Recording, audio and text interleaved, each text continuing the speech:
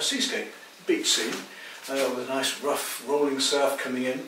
And uh, I want to work right from the foreground to the distance here. The, the, the sky is one of my own, taken from uh, a photograph out in New Zealand, in fact, this particular one.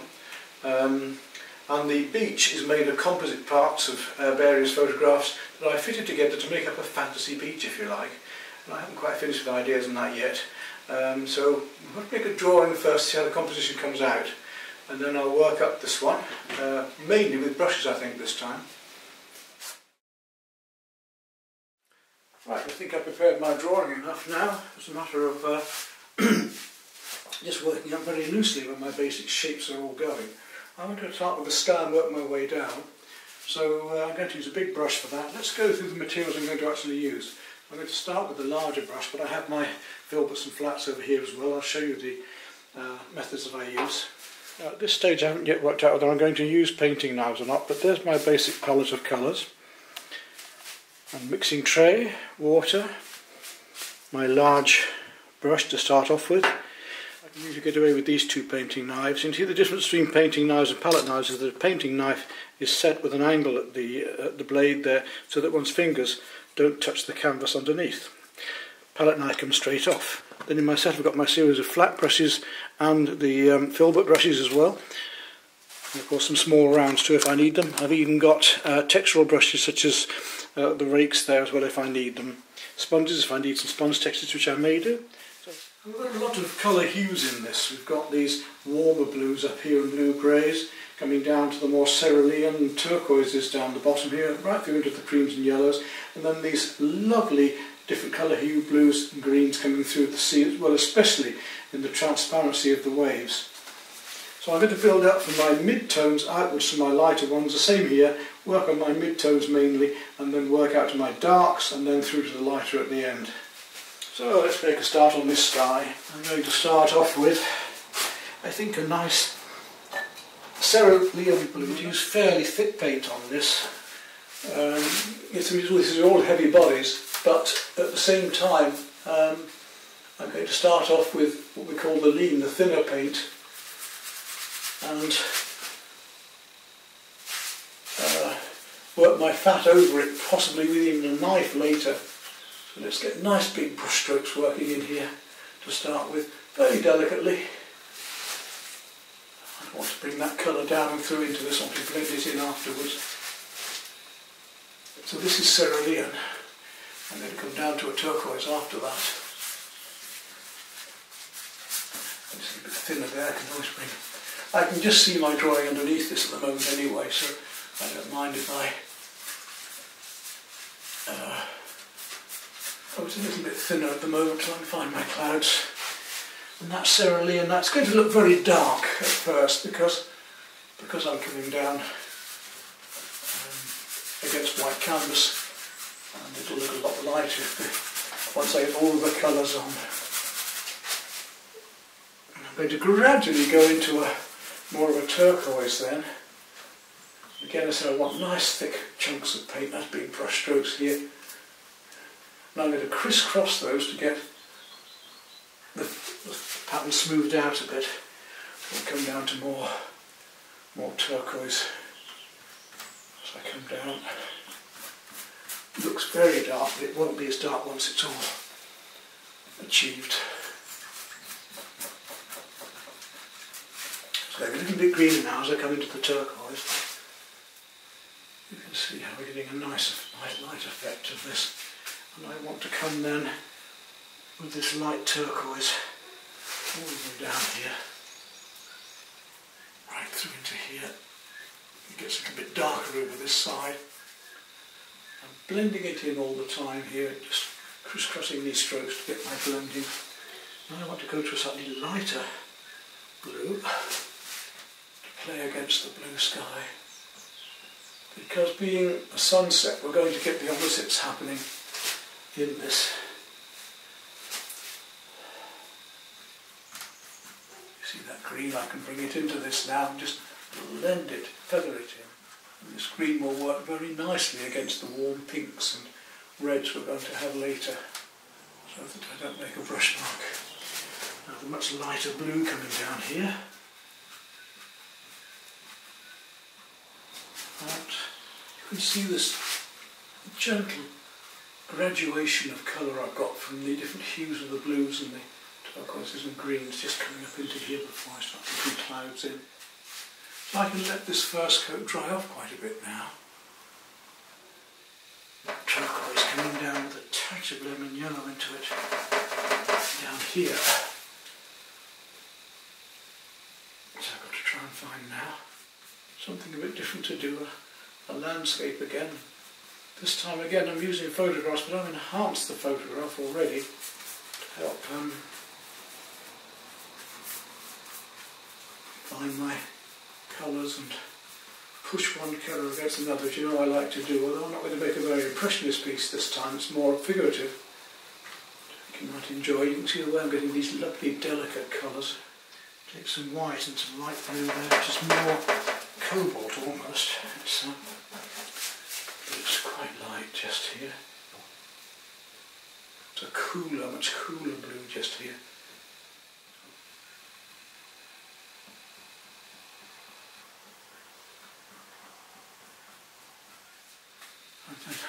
put a more yellow into that, just a touch of lemon yellow. Into that same mix. As we come down here, and the whole thing becomes, I'm going to use some lighter creams over this later, I just want to get this base, this, um, get rid of this white canvas down to the horizon, and the horizon is our sea level here, there pushing the paint into the canvas at the moment to, to fill the pores of the canvas before I start to blend in more pinks and yellows into this. And I want to go down to my deeper colours now and then gradually come back. Very subtle shades, just blending in while the paint is still just wet enough to, to take it. Before I put any lighter colours on, now I want to bringing in this slightly darker blue-grey which I'm going to use a little bit of ultramarine. Oh, smallest of purple like that. Was I going to come down here, just about here?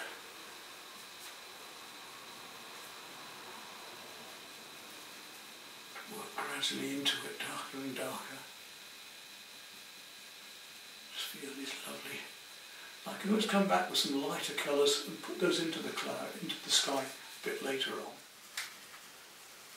Now I can do this by blending these colours together, but I can also do it by using very thin glazes and, and blending them softly with my fingers later as well. So this is just a start. I'm going to take some Prussian. And let's see what that does when we come into here. It's a bit, little bit warmer.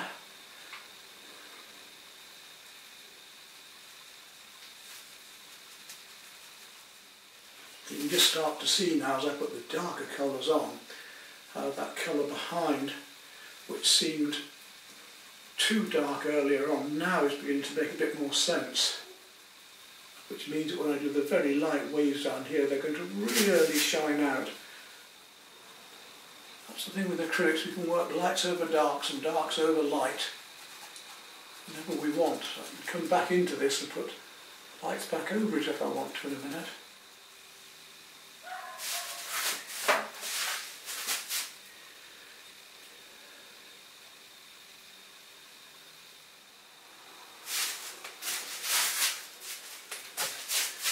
Alright, base coats. That'll do for now. I'll just work into those a fraction work lights and darks backwards and forwards. I've plenty of time on this, I just want to keep myself occupied at the moment and enjoy something a bit different. I'm going to take a thinner coat of that and just come into this down here.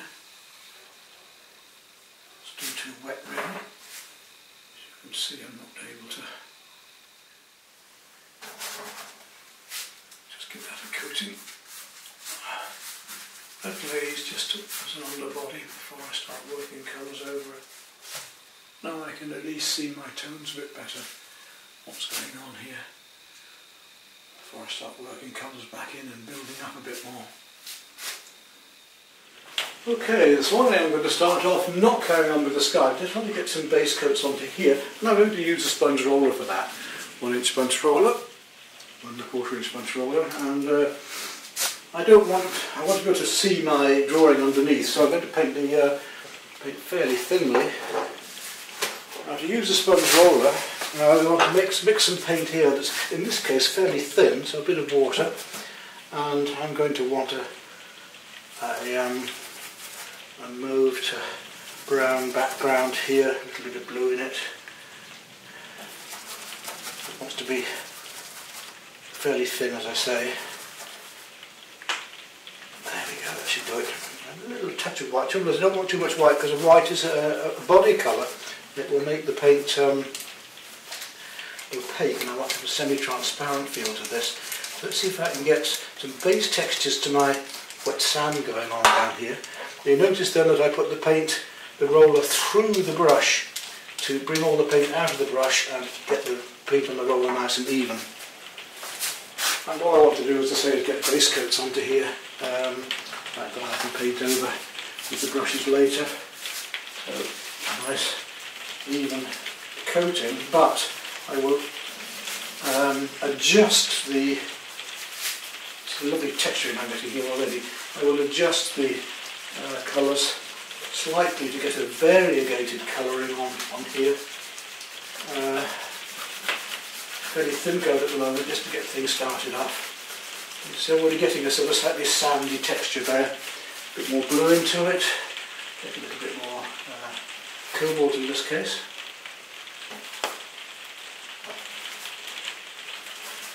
Plenty of water, and again I'm going to put my roller through the brush.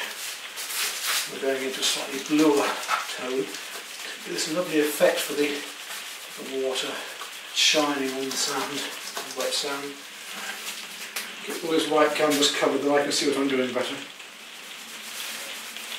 It will give us an effect of light and that's again what I'm after at the moment is just feel my way into this painting.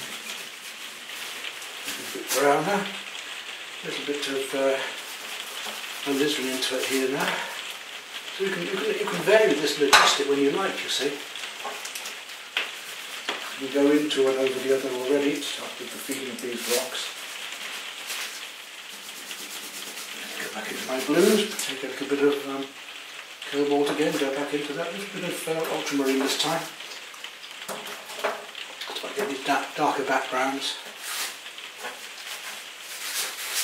So we can use a sponge roller for uh, landscapes as well as town scenes as I've been showing you. And then we go a little bit lighter, take um, a little bit of pink into it now actually. Plenty of water because I want it still fairly transparent.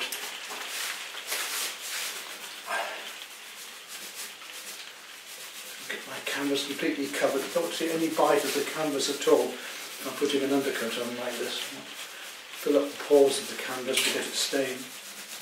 I'm going to put some coats over this, the variations of the blues and so on to really pick up on this lovely background colour. So, you know, some of you seem to think this because I've been using the sponge roller on the cafe scenes that that's all they're good for, but you can see actually they can be very useful in other areas as well. I have done this on, on one or two of the New Zealand beach scenes that I've done in the past where I've used this same technique to get the, the effects on the sand, which is very, very useful in perspective and so on. Right, I'm going to just wash that roller because I'm going to go back to a, a, a, more turquoisey blue now for the rest of the underpainting there. Now I want to mix up a, a mid-blue, so between the warm and the cool. Um, I think I'll have some cerulean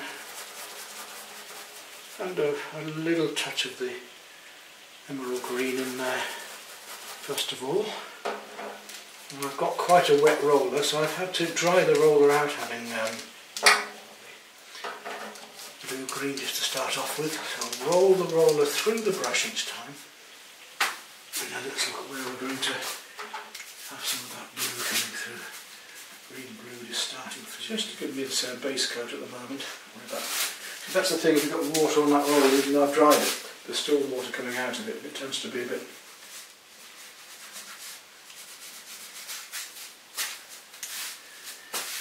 I've got the feeling of the wet beach already. There, now. Now I can go back to my brushes.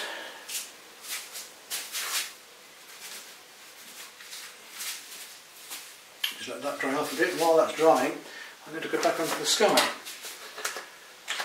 think it's time to set out a new set of brushes now. I'm going to put some new filberts out. Just been using flats for the moment.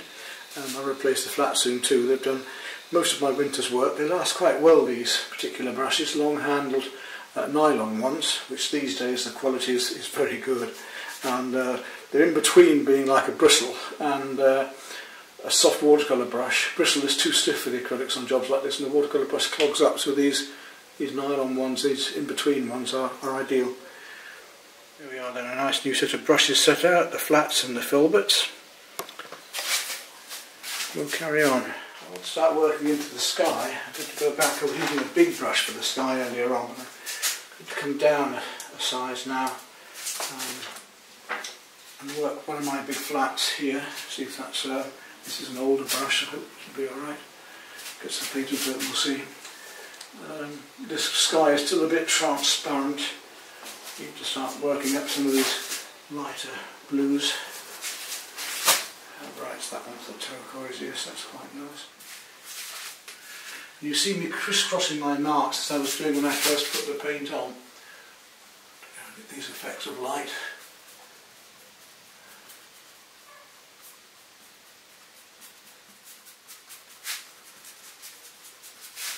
Of water on it now. Use it a bit thinner, almost as a glaze, and just soften it up into these clouds. It just links in. Gently feathering in. This, this way of using the paint from the end of the brush very light like this is called feathering. Pick up on using this technique, the brush, a bit more water with it to make it slightly transparent and just blend these colours in a little bit more. There's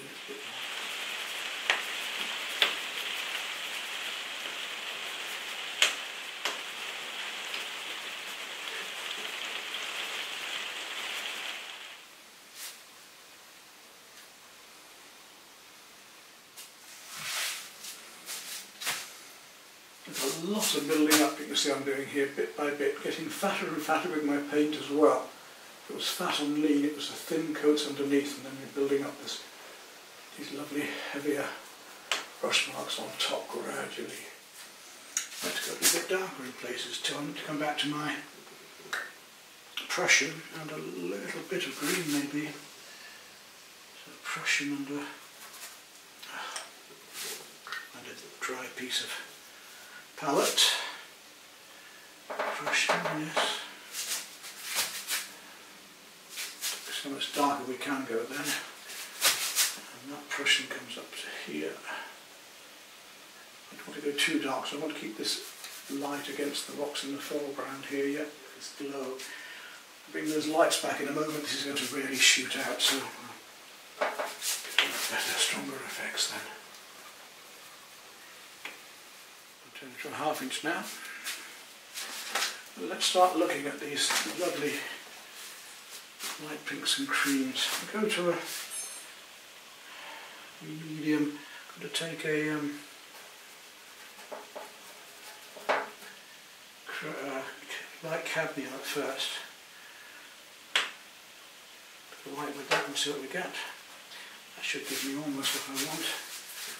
Let's start off here with a lovely line of light coming down below.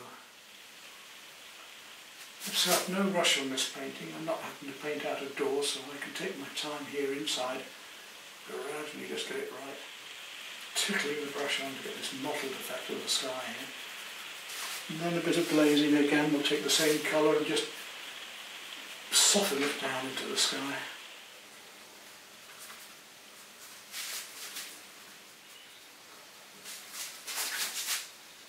quite garish if we made this too strong, so we've got to be quite subtle with our colours here.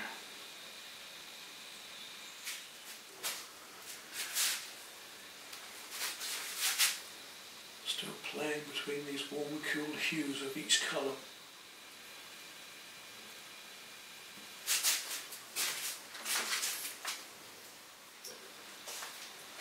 Right, a very light lemon yellow and white on, which is much, much cooler, and I think you'll see a huge difference when I do that in the, in the lighting here. You see the difference in that and how much cooler it is. Makes, gives a warmth for the whole rest of the sky. And we will pick, be picking that up on the waves later on, so let's carry on down now to the sea We'll have to work on the edges of the land here, I, I suspect, first.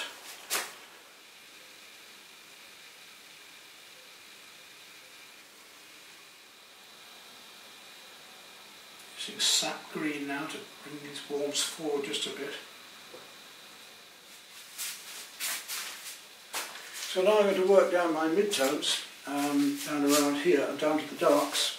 And we can go back onto these waves, put the darks down here deep greens and deep blues and the lovely rocks and things that are happening. Right, let's carry on down now with the, the sea. And again, I want to work from darks to light, so I'm going to work up my um, rocks at the moment. Let's start to find some really lovely pure colours here. Catching, as I say, just, just glinting, this sun coming from here.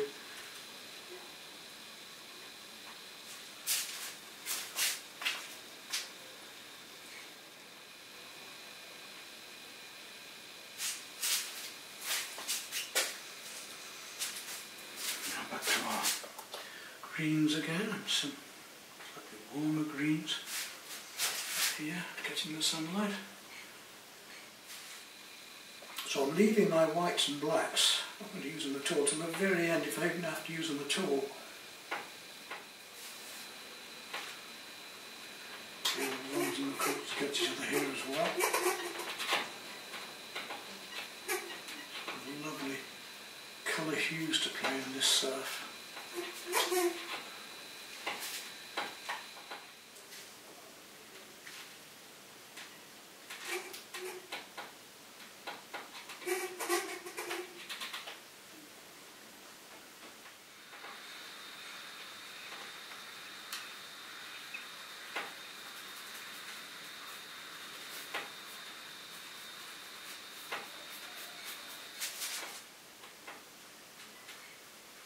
I'm using a composite photograph, I mean, they're not going to be perfect joints. I've got to use what I've got here, just to use it um, to feel my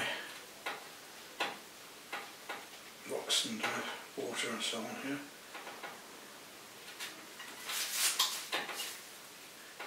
So it's not going to be painting exactly, I've got to make it as I go along in many ways.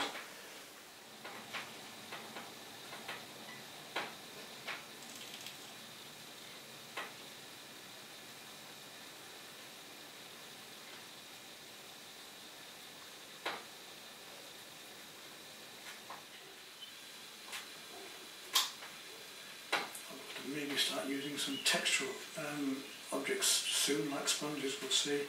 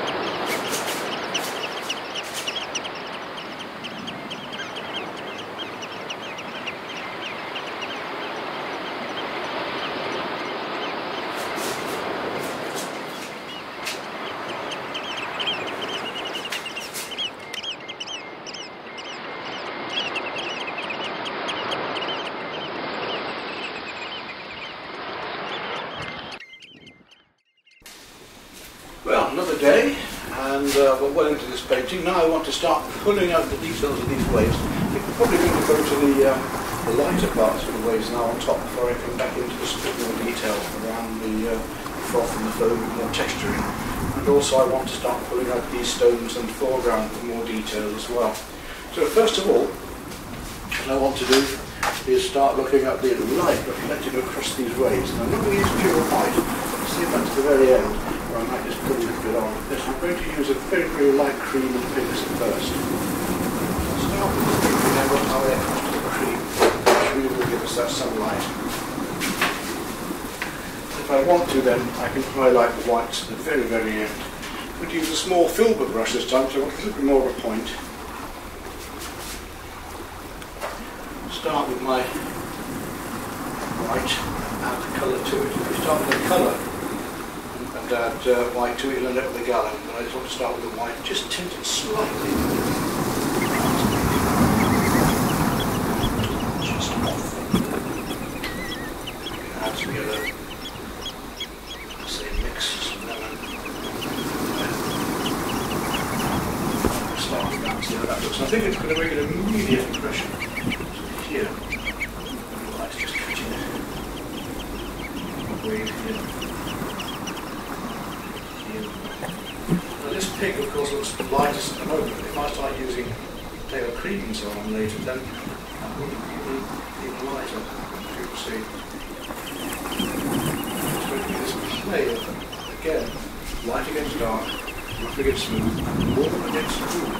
So then I'm playing these um, complementary colours as well as uh, the differences in the um.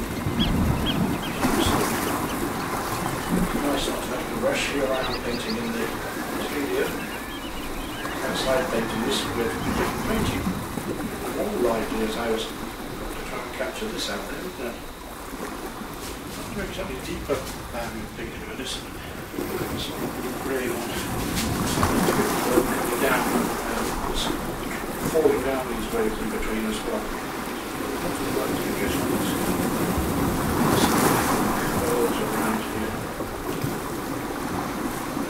Marks about the that we're doing, the way that the foam twists and swirls and comes out in these. Different styles of painting. It's still an impressionist style. Um, it's a little bit tighter. End up with more time to work on something like this so many colours to put in here to play against each other. One paintings, one colour's going to work now, but loads to work against each other. Lovely greys are coming in around here. Again, I didn't use the filbert brush. I don't want to use uh, too small a brush on this because it needs to be larger strokes at times. These little marks of water flows over things can be so useful textural things.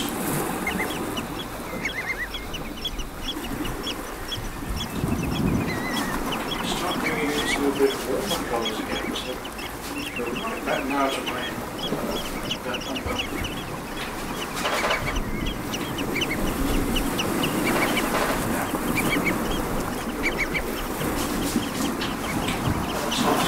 more warmth to it now and starts a little bit of sky on it. Got to really put them together, we can't have this separate. Um, it's colour. Jigsaw.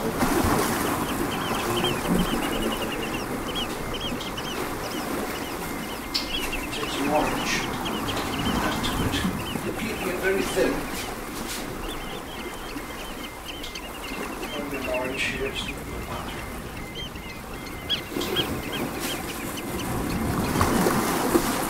back to the sea, they can tell us some of the, the waves and ripples that we actually meet.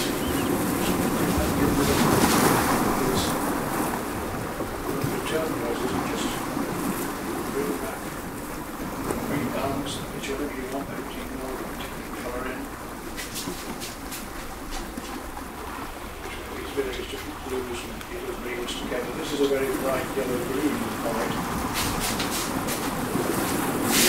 yellow green drawing when I put in the lemon yellow and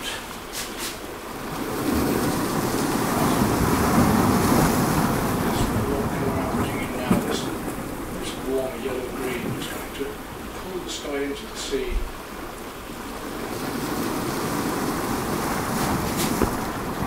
It's quite a large painting, so I've got the opportunity to uh, work on these waves a bit more detail, which is nice. I think in some ways it's almost there. Um, now I've got to go go into here, colour against another really make them bleed.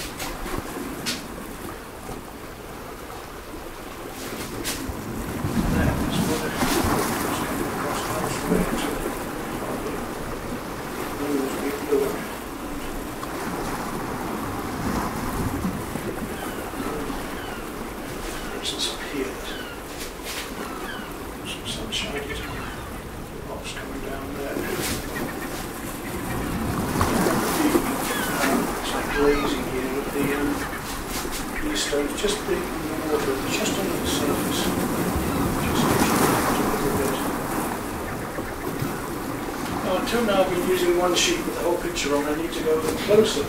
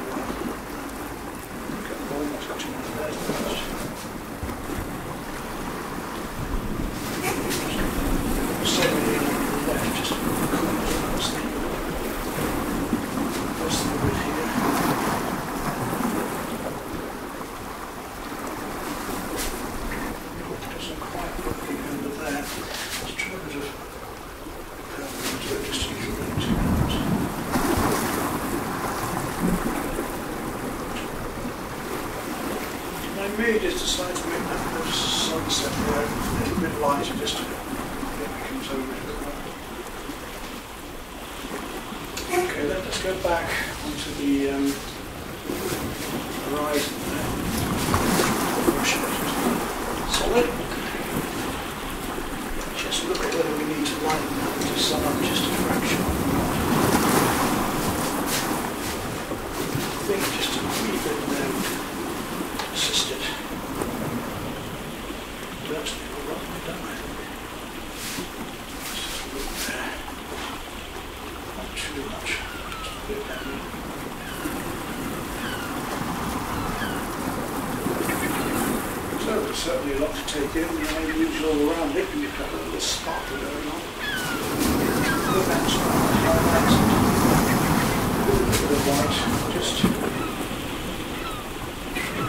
patch here and there with where they cover some.